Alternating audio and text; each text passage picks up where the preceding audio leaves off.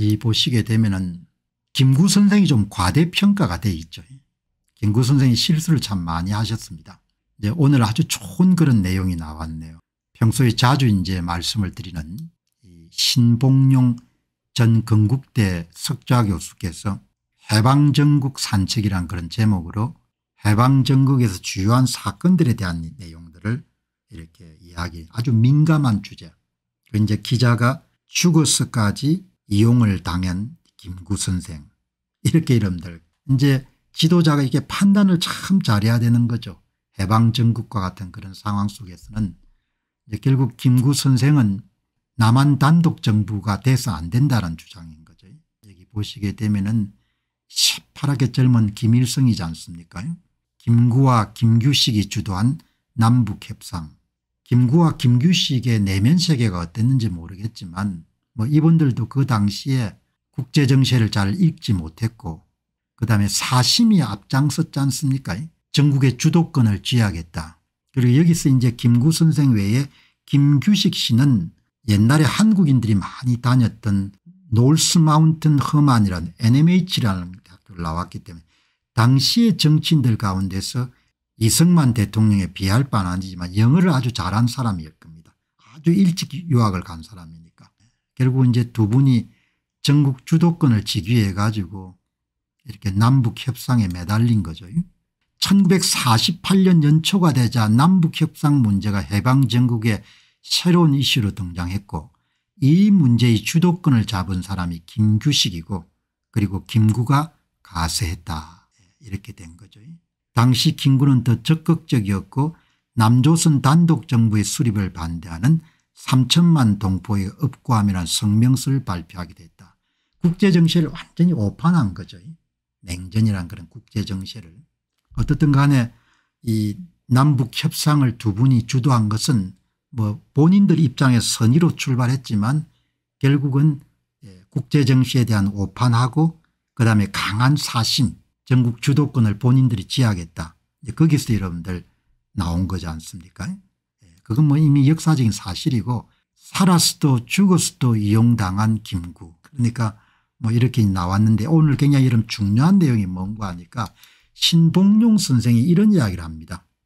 이 뭐 이야기하는 거 지금 한간에서 이야기가 자주 되는 것이 김구 선생이 38선을 넘어서 김일성을 만나러 갈 때 상해 임시정부가 사용하던 그런 직인을 직인을 가져갔는데 김일성은 김구 선생이 남조선에 나가 투쟁하다가 어려우면 다시 북조선에 들어오시라 김구가 김일성에게 임시정부 주석에 직인을 내놓으면서 앞으로는 장군님이 국가의 지도자이시니 이를 맡아달라고 부탁했다는 것이다.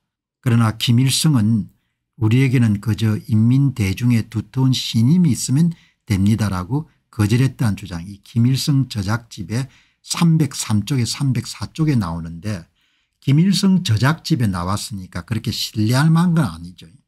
그 신봉용 선생이 분명히 여기 대해서 학자의 입장을 밝힙니다. 이 대목은 매우 미묘해서 주의가 필요합니다.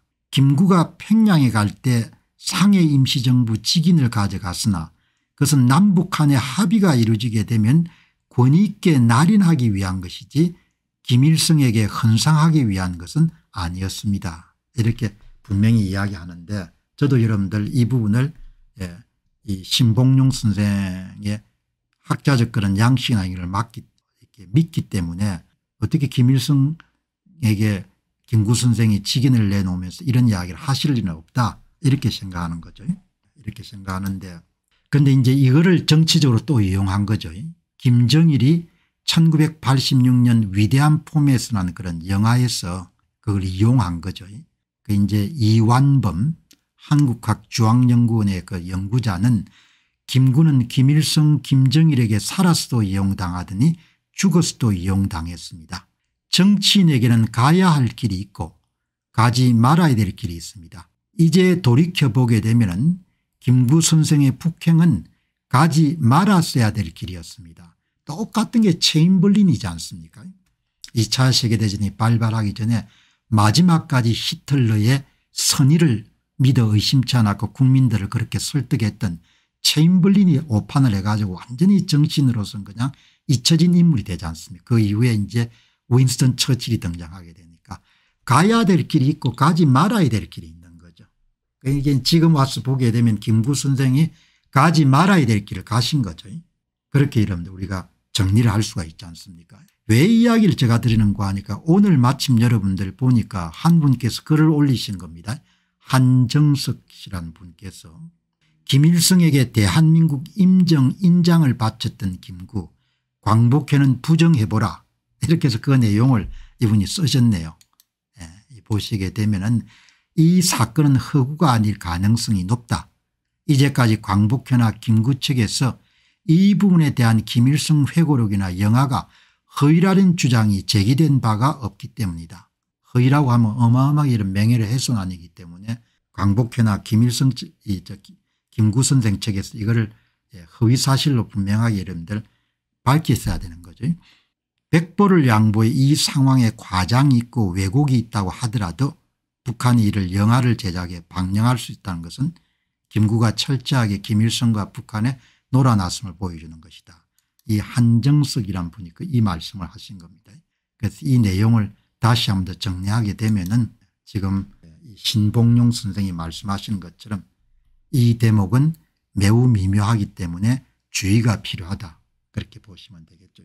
그러나 피할 수 없는 것은 김구 선생이 선의를 가졌다 하더라도 당시에 판단을 잘못한 거죠. 판단이 아주 중요하지 않습니까 사업가가 판단을 잘못하게 되면 회사가 망하는 것이고 개인이 투자 판단을 못하면 돈을 잃는 것이고 나라의 지도자가 여러분들 판단을 못하게 되면 국민들을 대단히 어렵게 이렇게 만들게 되는 거죠. 판단을 잘해야 되는 겁니다. 예, 그래서 이 방송이 판단하는데 좀 도움을 드릴 수 있을 것이다 저는 그런 생각을 갖고 항상 정직한 이야기를 드리려고 이렇게 노력하는.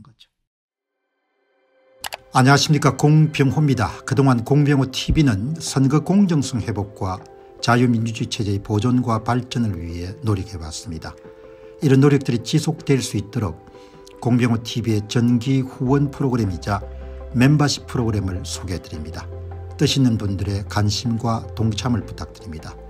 선거 공정성 회복을 위한 노력을 지지하시고 훌륭한 나라 만들기에 동참하시는 시청자분들이시라면 구독 버튼 바로 옆에 있는 가입 버튼을 통해서 정기 후원 프로그램에 가입할 수 있습니다.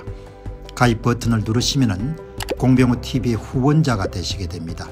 여러분의 후원이 선거 공정성 회복을 위한 노력에 힘을 더할 수 있을 뿐만 아니라 자유민주주의 체제의 수호를 그리고 발전을 통해 여러분과 후손들의 삶에 빛과 소금이 될 것입니다.